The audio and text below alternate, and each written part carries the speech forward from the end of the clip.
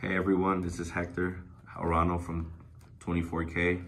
I made uh, day two at Nationals with uh, Trap Eldlich, the Yu-Gi-Oh! Championships. It was a great event. Um, I'm doing uh, this video for three people for the profiles. I'm doing for Slim YGO. Shout out to you, man, uh, for letting me do this profile. And then um, Papa Goat. Papa also is gonna be getting this. And also on my way to the airport, someone messaged me like, hey, can I get your profile? I was like, man, I'm at the airport and this and that. Like it was, it was kind of hectic in the DM and everything. But um, i am also gonna send it to him in Cyberhorn92. So make sure you guys, uh, you guys make sure you guys subscribe, follow, notifications, hit all that stuff for them and support them because, you know, what would be Yu-Gi-Oh without them YouTube creators, man? They help out a lot. I also want to give shout outs to um, my boy behind this camera right here, Abel. Um, he was, uh, I, I, roomed with him. It was a great experience. Uh, it was a, a great uh, support system throughout the way, motivated me keep going when I was getting a little knocked down. He made me uh, keep moving forward. And he also bought me this one great burger for making day two. So shout out to that. Uh, my team, 24K, of course. Um, anyone that let me borrow cards, you know who you are. Um, yeah, it was just it was just great. Uh, local scene, TCG, Collective Exchange. Shout out to all you guys, man. It was just a great experience. But yeah, without further ado, let's show you this profile we got going on here. Um, I did uh, lose in day two to Altergeist, but I only saw one Altergeist card, which was Faker. I saw him strike it, and then he had the Mice of the Land, Mystic Mine. I outed that. He went Metaverse, another Mystic Mine. I outed that, and he hard drew the third one, so I, I didn't have enough time to like literally out all three of them. Um, I, my deck outs Mystic Mine, but it doesn't out three of them quickly enough in time in order for me to win. I had to inspect Inspector Boarder up with a bunch of like gold. I had a game and I just, I couldn't do anything. But um, yeah, let, us show you the profile real quick. Uh, what place did you end up getting after day two? So I, um, and round 11, I'm like, you know what? Let's just go for this top 100. It's my first Nats. I just want to get top 100. And I ended up getting 88. So I was one point away from the top 64, but it's okay. Um, I'm really happy with uh, the 88 for my first Nats. It's not bad. All right, so let's get to the, the deck profile. Alrighty, so my spells, I played the one called by the grave. A lot of Eldlich players do not play Called by the Grave because it can get hand trapped, but I just think it's just a great card overall. So utility, it's at one for a reason. It's a, it's offensive, it's defensive, so I just think it's great. I played two Prosperities. Um, originally, I was only on three Extravagance, but the reason I ended up doing the two Prosperities is because in games two and three, Extrav, I don't care about drawing two. I care about drawing my side. So this one helps me dig six cards deep. Um, if they let this resolve, and then you see a lava golem or any or judgment when I'm going first, that's just it's just great. Like that's what I need. I don't care about drawing two. But in games one, I need card advantage. So this is why I did two. Um, also, if you go extra and they ash it, you still get to prosperity if you draw both of them. So it's okay. That is my spell count. My monsters was Lord of the Heavenly Prison. Two of those. Great card. I don't want to see three of them though. And two of the Heavenly Lord. Lord of, two of the Lord of the Heavenly Prison and two Eldlich, the Golden Lord. Um, I was on three. Um, I was siding them a third, and then we ended up cutting it completely, just theorizing and just seeing it. I was like, it's not enough. It doesn't justify to play three, so I only did the two. Uh, for my traps, the one Golden Land Forever for the uh, Eldlich traps, two Huaquero, Diddy Crow, three Conk, three Sanguine, and that is my trap lineup right there. It was the three, three, two, one.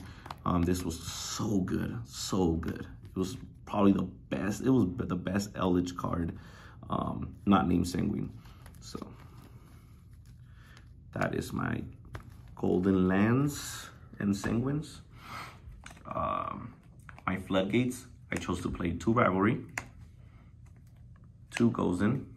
The reason I went for the Rivalry and the Gozen is because um, this also hurts Floowandereeze and Swordsoul, but this this hurts a lot of the other decks um, that are adventure based. So if they have the adventure package, I don't want to get Drake. I don't want them to get to a Draco back, so it just kind of stops it, and it just kind of shuts down some of the matches. It's also great against one of my bad matchups, which is Despia um, and Branded Eldlich, so this kind of helps me with that.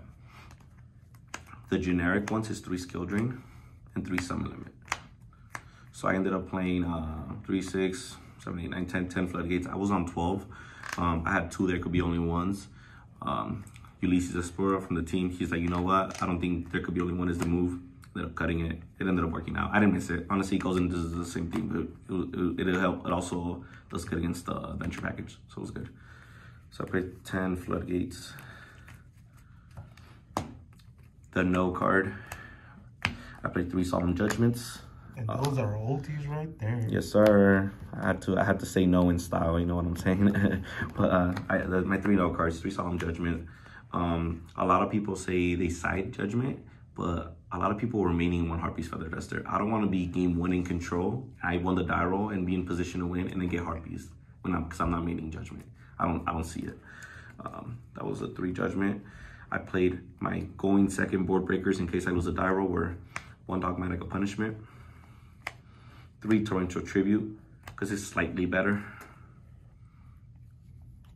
Three solemn strike because you, you know solemn strike plus a punishment, solemn strike plus a torrential, or solemn strike plus a rivalry or a Gozen can break a board. Um, and the other card that I was also doing to go second in my main, I was on triple lava golem right here. So it was great. This is a way I can do the die roll and I'll still have a chance. Um, there was a great interaction that I do want to show you guys that happened a lot. I would go extravagance. I have six cards in my hand. One of them's a lava golem. So I set five and still have a lava golem for the follow-up in case they break it. So it's pretty cool. Another way is if I go, um, if they go first, I get to lava golem them and then I set my rivalry of the rivalry of the warlords or my Gozen, and then they're just pretty much stuck with the lava golem there. So as long as I have a golden lance to defend myself, etc., they're just getting burned to death. And yeah, it was definitely fun. It was definitely a weird call to play three Lava Golem, but um, you have to be different, right, in order to try to get up there. So that was that. It was a 42 main deck count. I'm gonna go into the extra deck. Uh, two Pleiades. This was so good. You guys wanna know why? Because I Lava Golem them, and then I go to the Golden Lance, I bounce the Lava Golem, and then I lava golem again, and then I bounce it again. I actually did this. I got to go against Cody Angelov, one of my favorite duelists of all time, and I was I think I lava golem like two to three times in one duel with one lava golem, the same lava golem because of Pleiades. So this was really good. Um, prosperity target. I didn't really use this. Uh, the lead, the lead with the Dora, the two Gustav Max. These came up really good weird rarity switch up, but it's all right. The one Sues, just in case, never really came up. Most of these are prosperity targets. The one that did come up though was the Pleiades, the Lina, uh, Golina, summon Chicha, Golina, summon your Golden Lord. Pretty good. Um, the one Phoenix, the Link Spider for your Golden Lands. three, three Entes right here. Uh, one of my favorite cards for the punishment. Uh, I banish usually two of prosperity or in case the extra it was the other one. And then my tech was the anima. I will get to why I played anima in a bit. Okay, I gotta show you guys the side deck for that. So now for the side deck, um, my two ofs, two anti-spell fragrance, right there. Uh, two borders. This was so good against Flunder. This is so good. Um, some players can vouch for it. Some players can let you know how good this was. Two nibs right here, uh, it was just great. Um, the reason I played this one other card over the three nib, um, I'll get to it in a second, but I feel like Nib doesn't resolve. It's still really good, but it doesn't resolve most of the time. Yes, it does trade off the Griffin and the Baronne Negate, but I still want my cards to resolve, which is why I wasn't a big fan of keeping three of. Um, a card that was able to resolve every time because they didn't get to Griffin by that time was Spicy Tech. I was citing three genome, the Gnomaterials. Um, this is just a funny. I was probably one of the only players on this card. Um, uh, Marincess, Linquant, boom, out Gnomaterial. They go branded fusion, the first one they summoned. Um, Bellion or the Abion. I get the maximum stuff. Boom, Gnomaterial there. Um, when they got the adventure package, um, I, I usually try to, like when they go the the the special summon off E-Telly to get the, you know, Punk when they pay the 600 add on, I usually know material that they haven't gone to the Griffin yet. So it, it was just really good. Uh, Dragon Link, I didn't get to play Dragon Link, but it was also applicable in Dragon Link. Um, Moye, Summon Token, Gnomaterial. Like it just came up, it, it was really good. I wouldn't play it in like a local or regional, but I definitely say it was a great call for a national event or a YCS. So it was a three Gnomaterial. Anima, level one.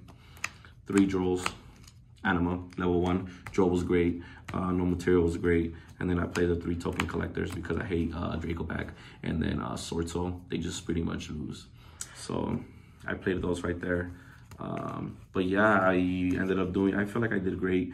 Uh, I lost to three Mystic Mine in like the span of four minutes, so I can't do anything about that. And then my other loss, the guy was playing Denko Sekka. I said four or five and he just normal Denko Sekka. I didn't open up the judgment. And even if I open up judgment, if I judgment a Denko Sekka, it just feels so bad because like it just it just not like I was not gonna win that duel. So I was not gonna win that match. But um yeah, I ended up going eight and three. And um, shout out to all you guys, everyone that's been supporting the 24K. And then make sure you guys support them YouTube channels, man. All right. So with that being said, why did you pick um, Pure Eldlich instead of Branded Eldlich? Um, one, I feel like you have to be slightly different than the, the rest if you want to get farther. So I feel like everyone's going to be on Branded Eldlich. Two, I was I was testing it and then I, I wasn't really loving the build. Like it's really, it, it is really good. It does have more gas but I've just, if you guys don't know me, uh, I'm very heavy on control. Like if I can just focus on one thing and just control the opponent, uh, I feel like uh, I can take advantage and um and just capitalize better than if I was playing Branded Eldlich. So I definitely think I made the right call. All the losses that happened, I I don't I can honestly and openly say I don't think I really misplayed. I think um, it was, it's unfortunate, you know, when people uh, open up Denko Sekka or have three Mystic Mines like available to them. So it, it happens, but um, it was fun. I had, I had a great time. Um, and yeah, time to be, time to get Spright going now. I figure out how to beat them boys. But um, yeah, thank you guys, everyone, for watching.